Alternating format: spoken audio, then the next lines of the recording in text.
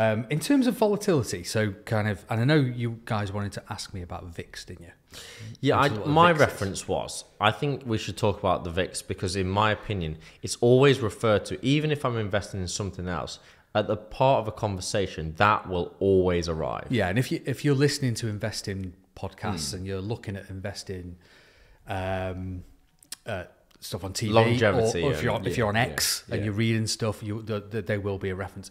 So VIX, uh, put simply, is uh, stands for volat- volatility index. Yeah. So VIX VIX, um, and what it is uh, uh, in a nutshell, I won't bore you to death with it, but is a is a measurement of uh, expected volatility in the market. US equities over the next 30 days, and they measure it by uh, activity within options contracts. So, how many people are buying options to um, sell a certain stock or to buy a certain stock Yeah, over the next 30, 30 days? Yeah. That that's what VIX is, um, and it's been in place probably since the nineties, I think, from from memory.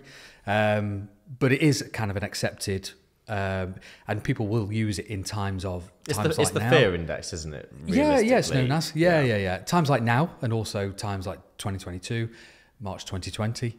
Uh, but what's really interesting about the VIX, and it is a very, very, you know, it's it's an accepted measure of uh, volatility and, and risk in the markets. And as you were saying, why is it so up and down? Why is it so volatile?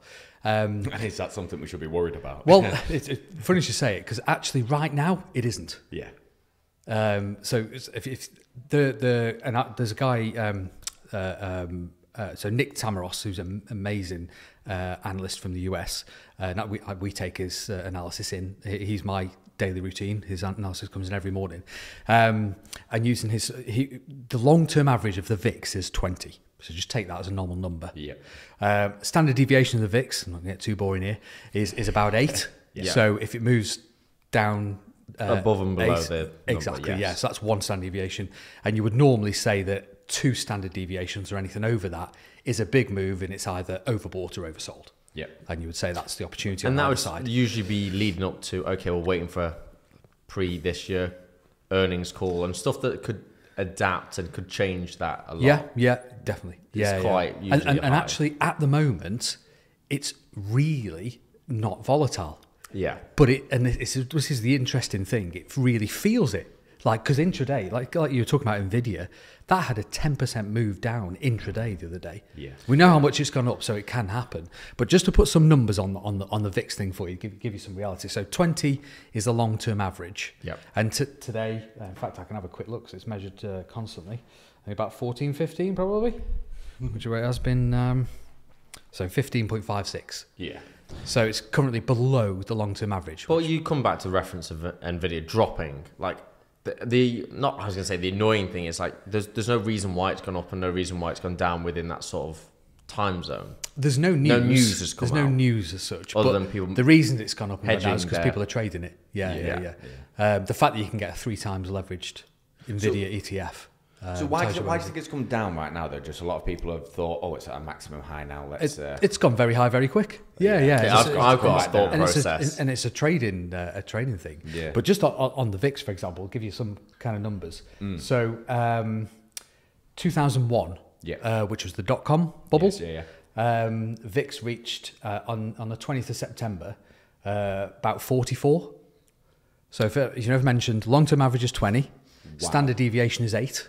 You've That is doubled it. w- way over dot com bubble bubble yeah, burst, yeah, right? yeah. Um, that, uh, so 21st of uh, October 2021, which was, go, if you think going back, that was post COVID. NFTs existed and were doing what they were doing, all that kind of stuff, euphoria. the, Them things, NFTs. the VIX is at 15. yeah. So what did I okay. say it was today? Same, pretty Mm. much. So keep a, an eye on that. and then on the 16th of March 2020, which we all remember, Yep. Was kind of around the time we were all to- told to stay at home, COVID. Oh, The VIX reached 83. Wow. what the? Look at this. Is that's that like a record pretty- high? That is a record I was high. going to say, is that? from what I've uh, looked through, from certainly from uh, the 90s, Okay, that's- through, that's, that's- that's, that's the highest reading I could see. Holy around cow! Yeah. Um, and uh, and then in July, sorry, in, in March 2022, that was when we started to have inflation's out of control, need to Yeah. raise interest rates, and the uh, All the regional banking crisis thrown in, yeah. in the Yeah. US, it got to 36. Okay. So that felt really bad.